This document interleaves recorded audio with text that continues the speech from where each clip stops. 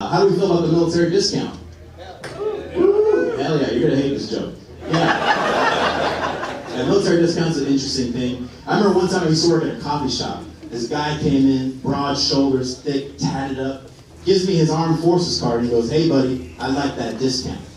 And the first thing I did is I grabbed the card and I looked at his legs. If you got both legs, buddy,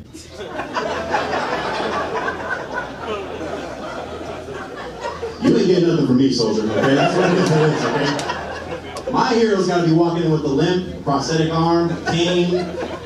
They gotta be saying some shell shock shit, okay? That's what I'm saying, okay? I wanna know that if a firework goes off, you're a loose cannon. I don't know what's gonna happen, okay? The reason why I'm so excited about it is like, why should I give you a discount for something you willfully signed up for and got paid for? You know? Like, I did 12 years of Catholic school. I'm not asking for a discount.